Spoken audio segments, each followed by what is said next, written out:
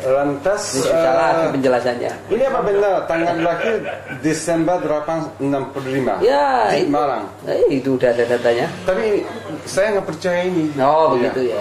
Ini benar. Betul, betul. Oke, lantas sebagai anak keenam dari tujuh Yes. saudara.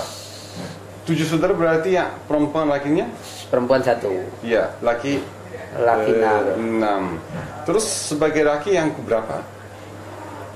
Laki yang terakhir atau? Oh enggak, saya masih punya adik satu laki-laki. Oh, berarti Saya itu anak ukuran urutan nomor 6 ya, Kalau dari laki-laki ya 5 laki-laki kelima. Iya, oke.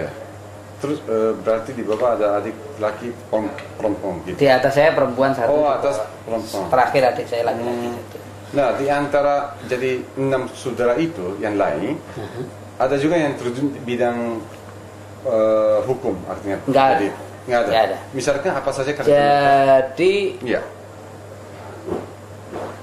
eh, Dua Tiga orang pedagang Iya. Jadi Tiga orang pedagang Hmm. Oh empat orang, sorry Empat Iya. orang pedagang Iya. Dua orang dokter Dokter. Dokter, dokter. Iya, dokter apa bidang? Sa- Satu dokter spesialis paru Yang satu dokter umum Hmm. Ini laki. Laki Iya. Jadi yang pedagang itu tiga laki-laki satu perempuan. Hmm.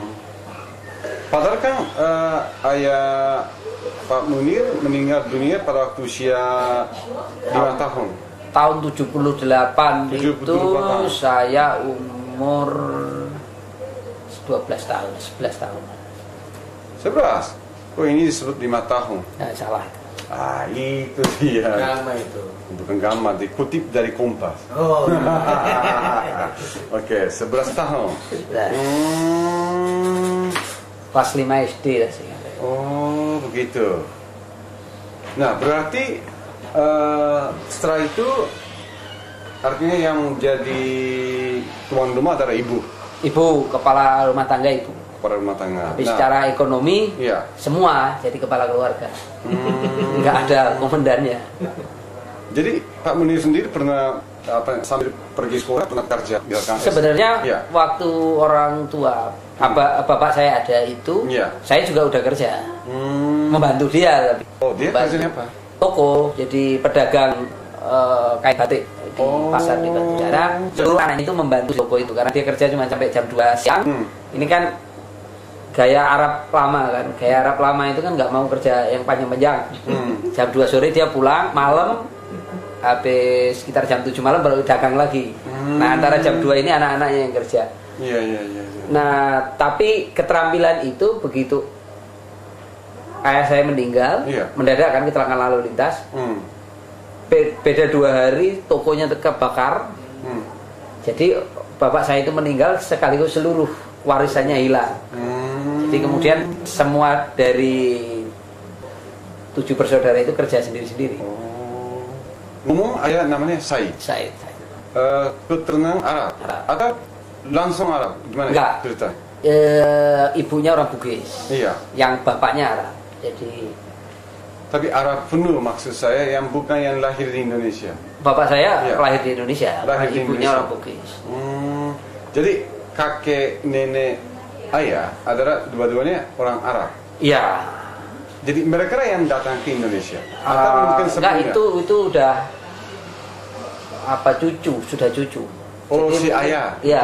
Hmm. keturunan keempat karena di struktur Arab itu kan saya hafal karena binnya berurutan terus kayak saya itu sampai nyebutin tujuh binnya saya tahu ya, ya. Hmm. siapa yang masuk pertama itu ada ada strukturnya begitu Hmm. kalau lihat urutan itu bapak saya itu orang tingkat kelima Tingkat Kayak saya, saya ini keenam Oh. nah nah dalam kultur Arab pedagang Iya. itu kan ada dua tahap Arab pindah Iya. ke Indonesia Hmm. Ah, tahap Arab yang pertama itu adalah kultur pedagang Hmm. Tahap Arab yang kedua adalah borjuis yang pindah, orang yang kaya duit Hmm. pindah. Nah, kultur yang pedagang ini tidak pernah bawa perempuan, Hmm. kultur Arab itu. Iya. Jadi yang datang hanya laki-laki, Oh. kawin dengan wanita di sini, Iya. Dan kemudian antar anak mereka dikawinkan, mempertahankan Arabnya itu. Oh. Jadi misalnya saya berempat laki-laki, saya kawin semua begitu. Nah, saya punya anak, saya kawinkan dengan anak dia itu. Jadi kemudian muncul kultur Arab baru yang sebenarnya ibu mereka bukan lagi Hmm. Arab. ma- di keluarga Arab itu dikenal kalau menyebut orang Jawa misalnya itu ahwal. Ahwal itu Hmm. bahasa Arab. Artinya itu keluarganya ibu. Oh. Jadi orang tua-tua Arab itu kalau Iya. ditanya anaknya itu siapa dia nggak tahu namanya orang tua-tua Arab itu jawabnya gampang itu ahwal itu saudaranya ibu. Hmm. Sampai sekarang itu istilah itu menjadi menyebut orang Jawa itu ahwal. Anak-anaknya nggak ngerti ahwal itu bahasanya dari mana. Terus ya, jadi yang generasi yang pertama itu datang dari mana kira-kira Ar- Arabnya? Eh, ini kan jenis Arab miskin ini dari Hadramut Yaman. Di mana? Yaman, Yaman Utara. Oh, Yaman Utara. Ya, ini Oh. jenis jenis Arab miskin. Ini kalau Ya. ini. Berarti ya, si itu Ari Alatas kan asal dari Yemen Selatan. Iya, iya itu Berarti semua. yang itu. kaya? Iya, ini enggak itu miskin itu Miskin. rombongan miskin. rombongan yang kaya itu Iya. yang Al Habsyi, yang Iya. matanya biru. Hmm. Itu dari Saudi dan perbatasan Iran yang kaya. Oh. Di sini saya matanya yang Nah, tapi coklat. Nah, yang yang yang Yaman itu coklat matanya. bule lagi. Ya. Hmm. Oh begitu. Ya, ada subkultur beda-beda memang. Dengan Berarti tingkatan- kan yang artinya yang nenek moyang Pak Munir adalah pedagang sekaligus membawa agama Islam ke Indonesia. Begitu. Iya, iya, iya. Kira-kira? Ah, tapi bukan pertama rombongan ini bukan pertama masuk Indonesia dengan Islam karena mereka masuk di Islam Indonesia abad 13. sudah masuk Cina yang bawa. Oh. Jadi yang pertama masuk membawa Islam ke Indonesia dengan tipologinya itu Cina dan Hmm. India. Iya. Baru kemudian Arab. Nah, rombongan Arab yang kayak saya ini Hmm. itu yang membawa Wahabi. Hmm. Galur Wahabi itu kemudian melahirkan pikiran-pikiran dari Muhammadiyah. Hmm. Jadi ini gelombang kedua Islam yang Arab Iya, rombongan ini ya, Islam kedua ya. Iya. ya. Hmm. Yang dari Hadramut itu. Nah, pada waktu masa kecil kan lahir di Marang, Marang adalah yang artinya ber- berdikatakan jantung daripada budaya Jawa Hmm. yang sangat feodalisme. Iya, iya. Nah, di situ sebagai apa nama ya sebagai warga Indonesia tapi yang sebagai keturunan Arab. Hmm. Apa pernah ada cerita yang agak pahit atau ada yang senang mungkin pada waktu masa kecil? Apakah ada diskriminasi? Atau... Sebenarnya enggak. Iya. Saya kebetulan enggak terlalu banyak bergaul dengan keluarga-keluarga Arab ya. Hmm. Karena itu tipologi cara bapak saya. Iya. Dia selalu menghindari rumah yang ngumpulnya tentang banyak Arab. Hmm. Jadi termasuk dia pindah ke Malang, ke Batu itu dia pilih karena kotanya sedikit orang Arab. Hmm. Jadi kan kalau Arab Jawa Timur itu banyak ngumpulnya di Pasuruan, di Iya. Bangil gitu kan. Nah dia menjauhi itu. Oh. Itu ciri sehingga tidak terlalu pernah bergaul di satu perkampungan yang Arab semua itu, itu Iya. soalnya. Iya. Nah, juga kemudian sebetulnya akibatnya kalau saya Hmm. itu dengan kultur Jawa itu hampir saya tidak merasa saya itu Arab kecuali kalau pernah ada sentuhan sedikit baru sadar itu. Hmm. Dalam tingkat tertentu 80% saya itu lupa dalam komunikasi hidup saya. Hmm. Itu sebagai Arab dan itu di keluarga saya begitu. Hmm. Bahkan ibu saya pun orang yang berbahasa Jawa. Iya. Meskipun dia juga keturunan Arab. Tapi bahasanya bahasa Jawa, lokatnya udah bahasa Jawa. Jadi subkultur Tunggu, keluarganya ibu, ibu Jamila Jamila Eh, asal dari lahirnya di Banjarmasin. Bugis bilang. Bukan, itu ibunya bapak saya. Oh, oh tuh ini Nenek, nenek, nenek. Grandmother. Iya, Kalau ibu saya iya. ini lahirnya di Banjarmasin. Oh, iya. Ya. Halo. Waalaikumsalam. Boni, ha, ha, gimana? Tunggu, tunggu.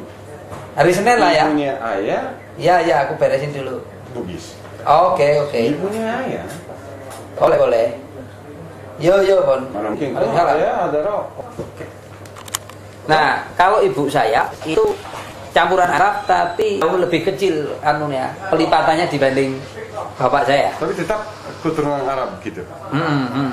Hmm. Juga keturunan Arab tapi pelipatannya udah la- lapisan. Jadi kalau kalau ayah itu kemudian percampurannya dengan dengan masyarakat lokal itu hanya sekali. Hmm. Kalau ibu itu hampir di semua tingkatan. Saya kira lebih baik dijelaskan. Yang kan di sini ada ayah, Nah, kakek, nah, sama nenek. nah. Kalau ini Ini orang ini Arab, ini orang Bugis. Oh, Nah, gitu ya. gitu ya. Nah, sebenarnya ini kakek ini udah campuran Bugis di atasnya lagi juga Bugis lagi. gitu. Hmm. Jadi begitu ya. Ah, ha, ha, ha, ha, ha, ha. Giliran mengawinkan dengan Arab. Iya.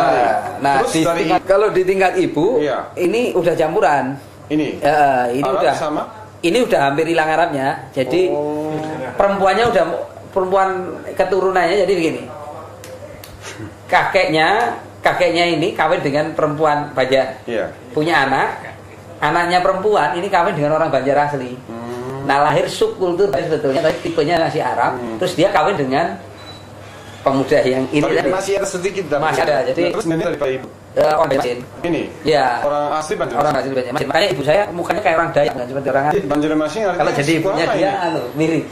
Kenapa? Eh, Banjarmasin artinya yang suku apa ini? Eh, oh, subkultur Banjarmasin. Suku Banjarmasin. Ya ada. Saya juga bahasa Banjarmasin. Ibu saya kayak orang Dayak mukanya.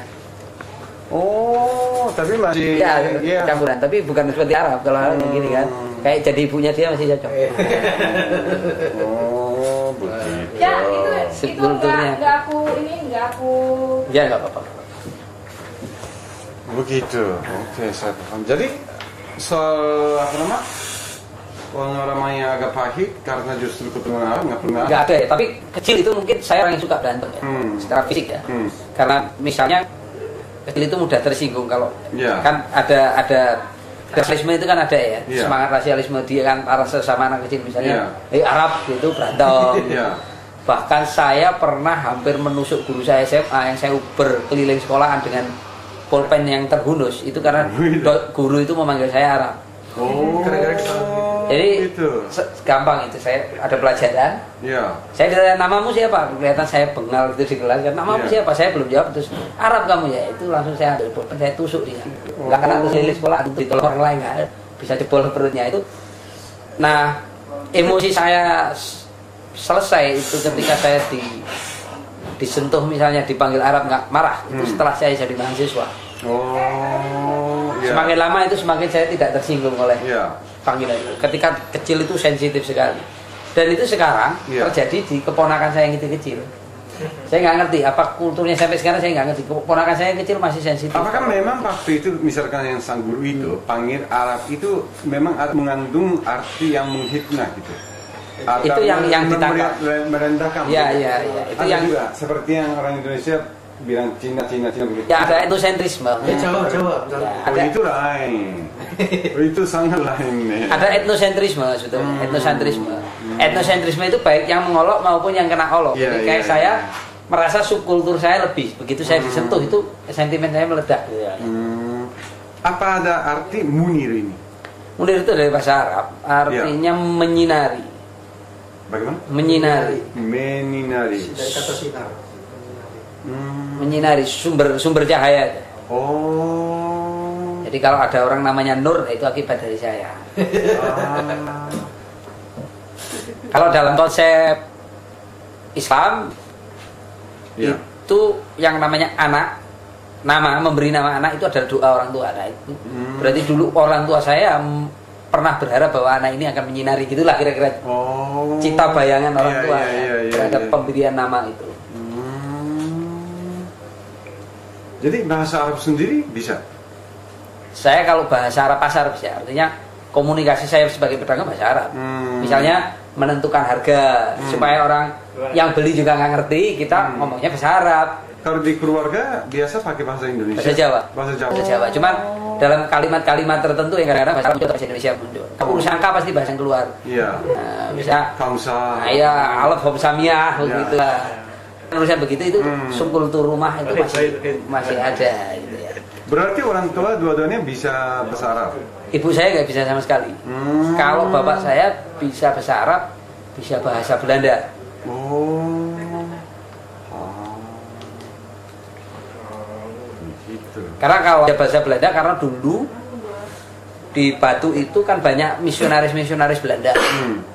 Nah itu suka ngobrolnya dengan misionaris-misionaris depan agama. Dia bahasa Belandanya lancar. Hmm. Lantas berikutnya satu kata dalam bahasa Indonesia yang paling Tahu ya?